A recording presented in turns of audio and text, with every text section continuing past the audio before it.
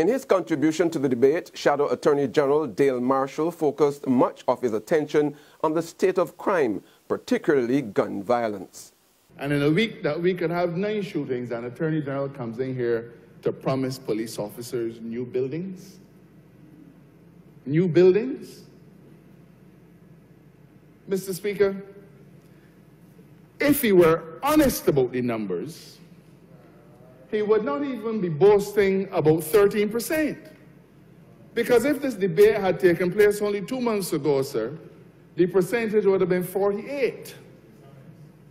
There would have been a 48, he would have reported a 48% increase in crime over the same period last year.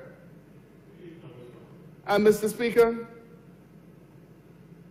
for the same period, he would have reported a 245% increase in crimes against the person only two months ago. Where you got these figures from?